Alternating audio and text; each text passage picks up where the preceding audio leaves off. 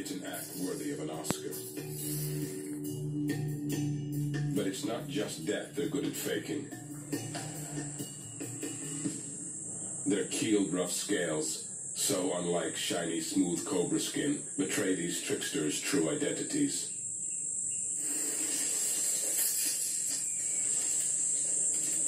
They're merely distant relatives who've adopted cobra characteristics. They're proving themselves worthy honorary members of the Cobra family. Leaving his territory, the Rinkhals must pass through human settlements along the way. He and his crew are often found hanging about homes and construction sites. But it's not because they like people. The Rinkhals runs a successful pest control operation.